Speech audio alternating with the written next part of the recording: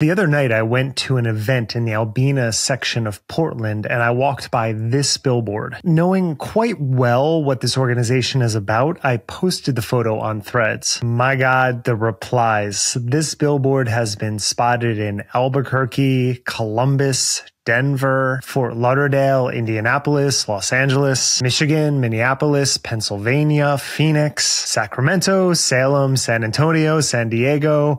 Thank you everyone who replied. TLDR, the Epoch Times is owned by an organization that is also affiliated with the Falun Gong religious cult. You've probably seen them meditating. I used to walk by them all the time in Union Square when I lived in New York City. The idea is, hey, we're all about meditation and peace and and love, and underneath that is a very different story. You've also likely seen the Shen Yun billboards forever because that's also part of their propaganda. The paper was founded in the year 2000 by Chinese Americans who strongly oppose the current government in China. That's why the Shen Yun tagline is China before communism. Over the years, the paper has radicalized itself into a far right conspiracy theory driven newspaper and popular YouTube channel. They are also very effective on on social media. They've promoted a ton of anti-vax propaganda. They're big on QAnon. They even created a documentary about the truth behind January 6th. And this is a propaganda outlet. You have to know that. In 2016, the Epoch Times was the largest funder of Facebook ads for Donald Trump outside of the Trump campaign. And they've ramped up over the years. In fact, one of their current initiatives is they share all of these cute animal videos and heartwarming human interest stories